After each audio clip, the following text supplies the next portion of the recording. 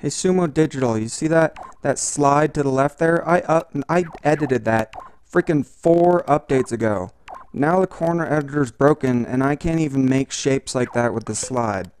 So check this out. I pull out a slide and I freaking corner edit the thing and it it shakes like crazy. Anything I click on with the corner editor, it makes it screen shakes everywhere. Look, I'll click on anything and it, the freaking corner editor will just freak the hell out. Look at that. I can't corner edit a thing. And then say I freaking save the level because I don't want to lose all the progress I freaking edited on my level. It, will save that glitch. Even if I delete the slide right now and come back to the level, it will still break my level. It, it, the corner editor will still be broken.